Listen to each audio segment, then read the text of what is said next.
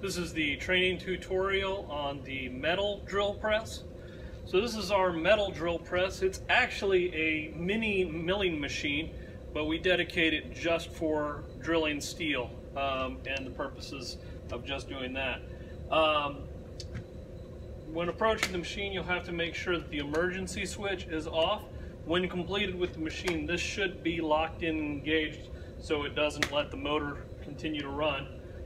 Um, like all tools you'll need, or like the other drill presses that you'll have, or other drills that you have, you got your chuck here. So there's a selection of bits down here. You can select which bit that you want to use.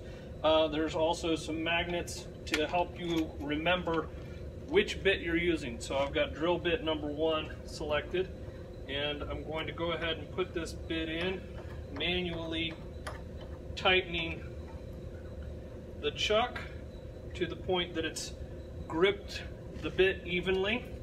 Then I grab the chuck key, which is over here on a magnetic bar, and put that back when I'm done. Now I can check the height of the drill press to make sure it's going to go all the way through the material and not much more. It's requested that you drill outside of the um, vise area so that there's no chance of getting any damage to the vise. If that's not a possibility and you do need to drill in the vise area, because this is such a small range tool, there are a smaller set of parallel bars available here at the front of the tool that you can put in the vise. And again, check your height, set this stop bar, which is on the back of the tool, so that you will not drill further than um, you need to, uh, much more than the thickness of the material, and certainly not into the vise area. So once you have everything set, you can uh, put your material in, secure it with the vise, and then you can control your positioning here uh, with these two uh, position rollers to locate the drill bit center to where it's supposed to drill. Um, there is a punch available on the side of the tool as well as some other marking tools that you may find useful to locate the center of the stock. When you're ready to drill, make sure that you are set to an appropriate range for the tool. Um, the tool diameter is being given back here along with the RPM values. There is a high and a low to this tool. So on this uh, back side of this behind the bear, there is a range switch to put you into the high gear or the low gear depending on where you need to go. After you've got that set in the correct gear, then you can turn it on here with the on switch, and then you bring it up to speed with the RPM values to match what you're drilling. With that on, repeat the same process that we discussed before on the other drill press with the arm control on the lever, maintaining control with your arm and sliding your hand back to bring the drill press down and reverse the procedure to bring it back up.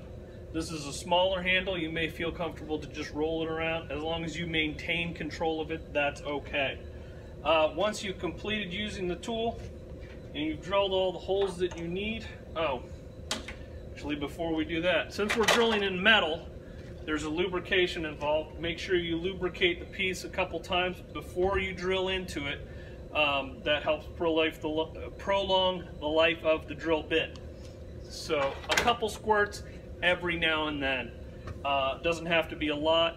And since this is a water-based fluid, make sure you clean off the tool real good with some rags provided here. Uh, there's also some gloves if you're handling some messy steel. Um, but uh, water-based, make sure you clean it off uh, at the end of its use. There's also a clean out tool here to get into the channels and the ways so that you can better clean the tool up after its use. There's also a vacuum provided over here, which the switch is right here, so you can vacuum up all your shavings into a dedicated vacuum for that. Make sure that when you're done with the tool, in addition to doing all that cleanup, that you put your drill bits away in the correct spaces so nobody has to look for where that drill bit needs to go. Um, there's also a chip brush. You can sweep off your chips that way. And then you can turn off this light. Again, set this to the off position and shut that off as well. And this has been the safe operation of the metal drill press. Um, in addition to uh, um, the same rules will apply as far as uh, making sure you don't get your hands caught or tangle hazards to the drill bit um, and make sure you keep your hands away as you're drilling. Um, all standard safe precautions when using a drill press.